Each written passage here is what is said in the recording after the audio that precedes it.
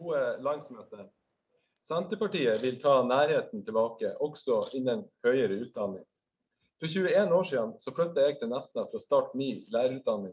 Ikke fordi jeg måtte, men fordi rett og slett livet som student i storby ikke passer meg.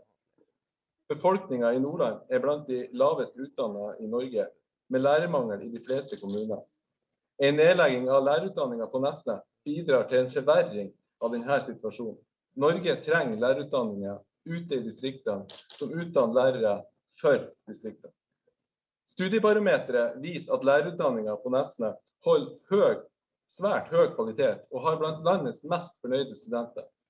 Når både søkermassen er god og kvaliteten er bedre enn de fleste andre lærerutdanninger, så er dette beviset på at dagens regjering har drevet med en hodeløs sentralisering og en aktiv nedlegging av kvalitet og kompetanse i distriktene. Kanskje handler det her om et mindreverdighetskompleks fordi vi faktisk lykkes i distriktene. Før 2016 hadde Nordland fylke to fakultet til lærerutdanning, ett i Bodø og ett på Nesna. Nå er det ingen.